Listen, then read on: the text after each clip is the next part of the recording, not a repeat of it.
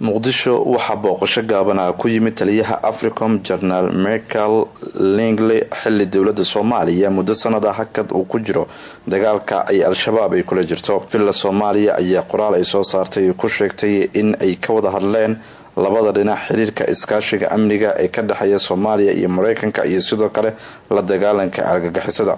Safiirka mareykanka ayaa qeyb ka ahaa kulanka taliyaha iyo sidoo kale madaxweynaha soomaaliya xasan sheekh maxamuud iyadoo taliyaha howlgalada gaarka ee africom colonel david haskell uu axadii uu booqday deegaano ku yaalla gobolka shabeellada dhexe oo dhowaan al-shabaab laga saaray. Mareykanka ayaa kaalinta koowaad uga jira dalalka dowladda soomaaliya ka taageera dagaalka ka dhanka al-shabaab iyadoo dalka ay ka joogaan boqolaal askari oo saldhigyo ku leh shabeellaha hoose iyo jubbada hoose.